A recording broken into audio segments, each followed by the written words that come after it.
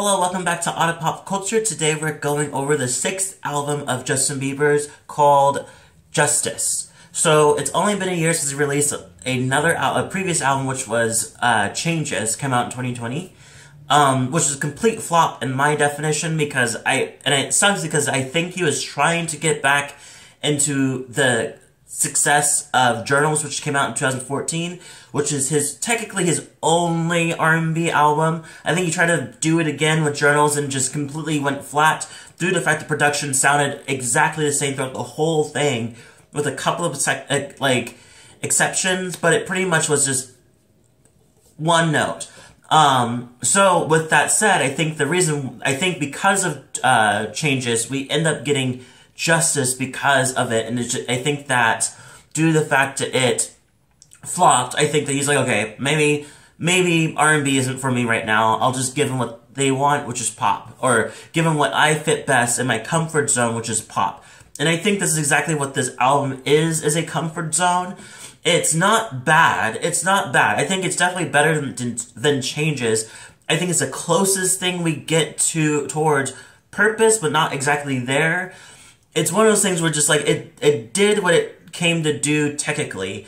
Um, I also believe that there's pieces of it where it definitely it's leaning into it's continuing it's continuing the story of how his love for um, Hailey um, Bieber is very big, is is huge. Is he's really into her, and if it's not her, it's no one. And it's just like it's he's very dependent on this love and he's just really can't like describe how this came into his life and he's so grateful for this love and it's almost a little i feel like life changes it gets to a point where it's just almost too grateful it's like i mean you you are your own individual person so i also want to make sure like my concern in that direction is like are you like a little too invested into this love where it is the one that saved your life? Like i get that things that helps you get to a point, but they also aren't your, shouldn't be your circle, your center of the universe direction.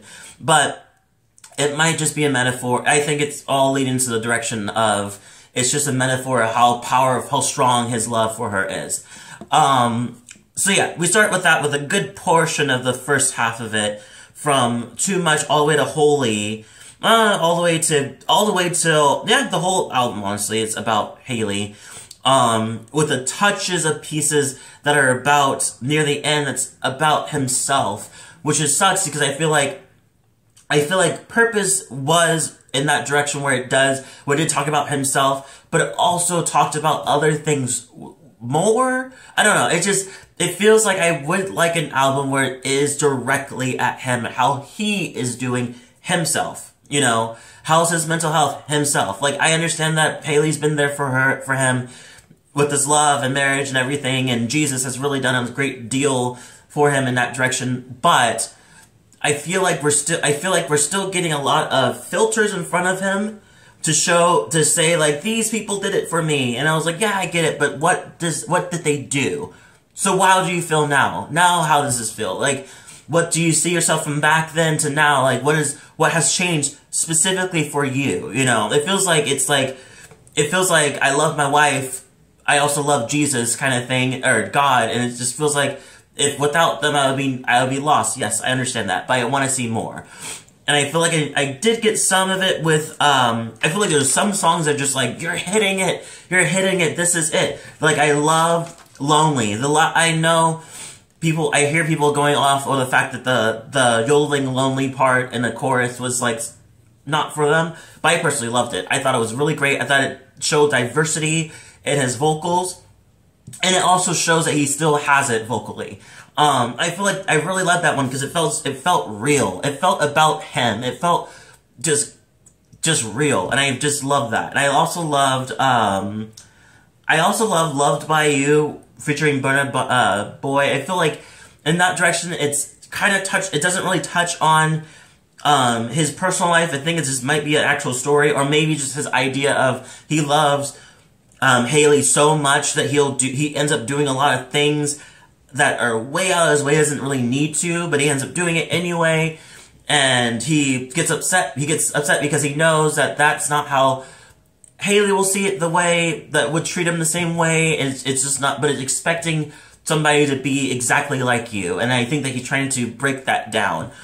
I like that too. It felt genuine. I felt like, yeah, I just felt like that. And I definitely want to point out there's a lot that he needs to give a huge thanks to Jon uh, Benel, uh, uh, Bellion because if without him, I think this would this the lyrics wouldn't really as would sync wouldn't really go would flow as well without him. I definitely smelled Jon all over a good handful of the songs, mostly in the second half, but it's definitely I can just smell him. I smell it in "Die for You." I heard I the vo- the vocal part. If it's not da da da da da da, like that's exactly the way that sounds reminds me of his own song. So it makes it feel like sometimes it makes me feel like he like, oh, why don't you just take my song? Here, here's my song. Or tell me what you feel.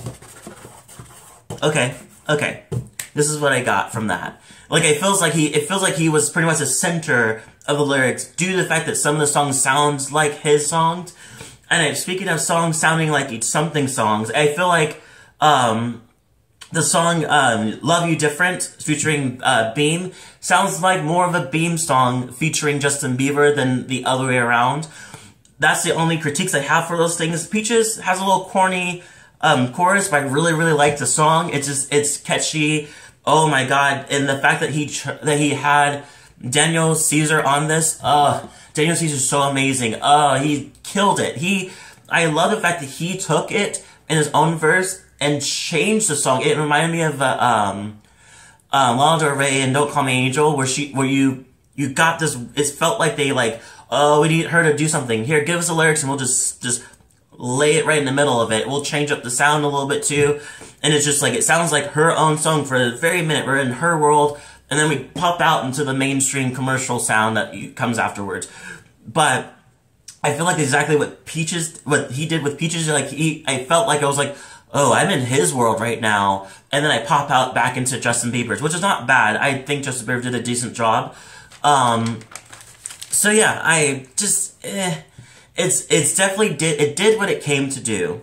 It did a good, decent job. I'm glad that it's better than changes, that's for sure. And I'm glad that we're getting back into form in that direction. Now that he has done that, I would love to see him kind of touch on more on Lonely, touch more on Love by You, touch more on those kind of directions, because I think that that would do a lot of justice and to justice. Don't get me started on the other part, but I'll I'll leave that. Pretty much, we'll do more justice for him directly. I think we find we got two albums now that are about Hailey and God. but I'd like to know more now. Now we got that associated, now we know that he's fixed and cured, or he's fixing himself with God and Hailey in marriage. Great.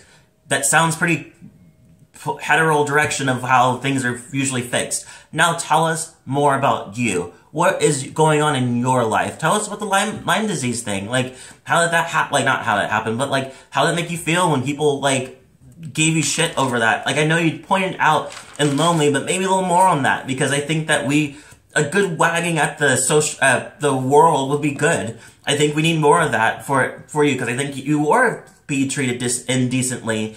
Um, Justice doesn't really fit this album.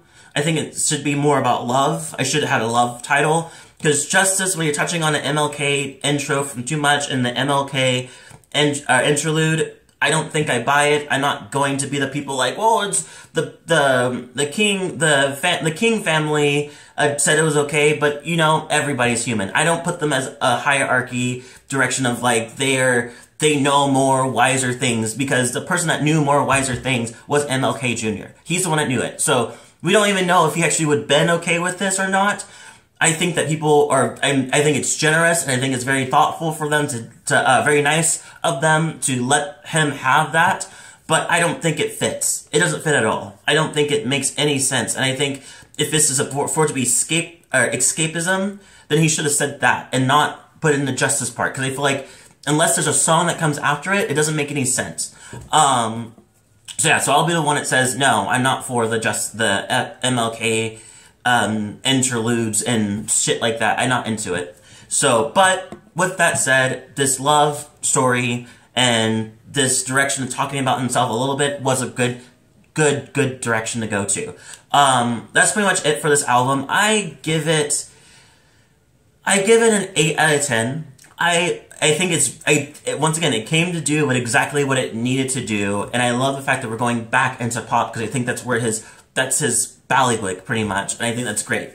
Um, leave a comment below, tell me what you thought. If you liked it, if you didn't like it, let me know. If you like this video, hit the like button and the subscribe button too, and the notification button too, so you get more of my videos. Thank you so much for watching, and I'll see you all next video.